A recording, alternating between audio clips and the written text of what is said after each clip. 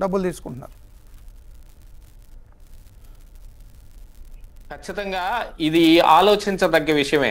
మొన్న మీరు బయట పెట్టే వరకు కూడా ఈ డిజిటల్ మీడియాలో ఎంతమంది వైసీపీకి సంబంధించిన ఇంకా చాలా మంది అందరికీ తెలుసు పేటిఎం అంటే ఐదు రూపాయలు పేటిఎం చేస్తారని పాత నుంచి అనుకుంటుండేవాళ్ళు కాదు డెబ్బై ఐదు వేలు ఎనభై వేలు లక్ష రూపాయలు ఇది పేటిఎం బ్యాచ్ అంటే అనేది మీరు మొన్న రివీల్ చేశారు మీరు ఇదే డిబేట్లోనే.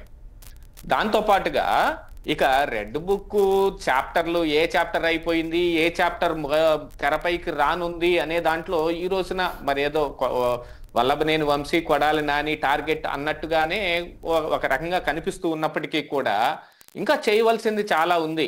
జరిగిందంతా గోరంతే జరగాల్సింది కొండంతా అనే చందంగానే కనపడతా ఉంది. ఎందుకంటే ఆ వాళ్ళ మీద ఉన్న ఏహ్యభావం భావం కావచ్చు గత ఐదు సంవత్సరాల్లో వాళ్ళు చేసిన పనులు కావచ్చు ఏదైనా కానీ ఈ మా ఇక్కడ జరిగిన జత్వానీ కేసులో సస్పెండ్ అయిన ఆ పిఎస్ఆర్ ఆంజనేయులో కాంతి రాణా టాటానో లేదా విశాల్ గున్నీనో లేకపోతే మరి టీడీపీ పార్టీ ఆఫీస్ మీద జరిగిన దాడిలో అరెస్ట్ అయిన నందిగం సురేష్ కావచ్చు ఇలాంటి వాళ్ళు. ఇదే బా- కొంచెం బయట కనిపిస్తోంది కానీ గ్రౌండ్ లెవెల్లో ఇబ్బంది పడిపోయిన కార్యకర్తల మీద కానీ లేకపోతే నాయకులు చాలామంది కూడా వదిలి వాళ్ళ నియోజకవర్గాన్ని వదిలేసి వెళ్ళిపోవాల్సిన పరిస్థితులు అన్ని తీసుకొచ్చి పెట్టారు చూడండి.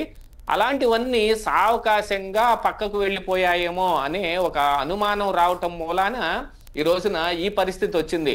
ఇంత ఇప్పుడు నాలుగు నెలల తర్వాత కూడా అంటే రీసెంట్ గానే ప్రభుత్వం ఏర్పడింది. నాలుగు నెలలు మాత్రమే అయింది. ఇంకా ముందుంది చాలా కాలం. నాలుగున్నర సంవత్సరాల పైన ఉంది కానీ మనకి ఫస్ట్ ప్రయారిటీలో ఈ రాష్ట్రాన్ని గాడిలో పెట్టటం అనే దాని మీదనే కదా ఎక్కువ కాన్సన్ట్రేట్ చేస్తున్నారు.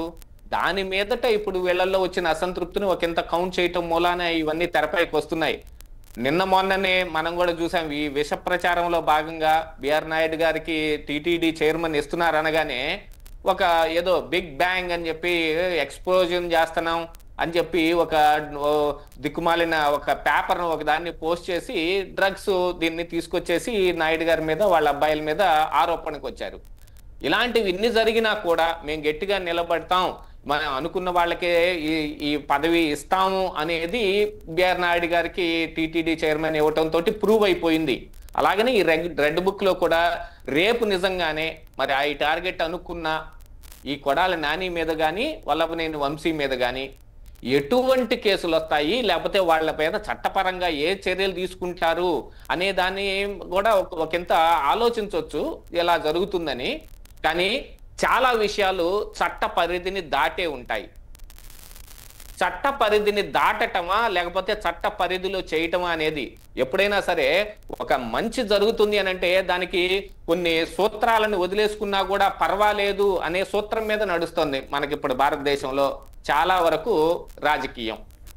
అలాంటివి చేయాల్సిన అవసరం కూడా ఉందనేది గుర్తు పెట్టుకోవాలి దాన్ని ఎత్తి చూపించటం ఒకటే నా యొక్క ఉద్దేశం తప్ప మిగతా ఏమీ లేదు. మిగతా ఎన్ని మాటలు మాట్లాడుకున్నా ఎన్ని ఎన్ని- ఎన్ని చేసినా రాష్ట్రాన్ని అభివృద్ధి దిశగా పయనింపజేయటం అనేది మోస్ట్ ఇంపార్టెంట్ తప్ప ఈ ఇలాంటివన్నీ కాదు అనేది మనందరం గుర్తు పెట్టుకోవాల్సిన అంశమే.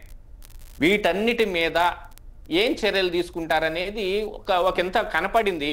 మరి దే పార్టీ ఆఫీస్ మీద దాడి చేసిన వాళ్ళ విషయంలో కావచ్చు మరి జత్ పరి జత్వానీ కేసులో కూడా కావచ్చు వీళ్ళ మీద ఎలాంటి వస్తాయి అనేది ఎందుకంటే విష పురుగులని ఏరివేయటం అనే అంశంలో చాలా వరకు చాలా పార్టీలు లేకపోతే అధికారంలో వచ్చి అధికారంలో వాళ్ళ చేతుల్లో ఉన్నా కూడా చేయలేని అంశాలు చాలా కనపడతా ఉన్నాయనేది ఒకసారి మనం గుర్తుంచుకోవాలి. అందుకనే ఎక్కువగా ఈ నాయకుల్ని కానీ వాళ్ళని ఇబ్బంది పెట్టే రకమైన చర్యలు తీసుకోవాలనేది మనం ఆశించటం కానీ ఒకంత తగ్గించుకోవాలనేది నా ఒక ఉద్దేశం. ఇటు కార్యకర్తలైనా కానీ అటు ప్రజలైనా కానీ అల్టిమేట్గా రాష్ట్రం బాగుపడాలి దాన్ని సరైన దిశలో నడిపించాలి అనే ఒక ఉద్దేశంతోటే కదా నూట అరవై నాలుగు సీట్లు ఇచ్చింది.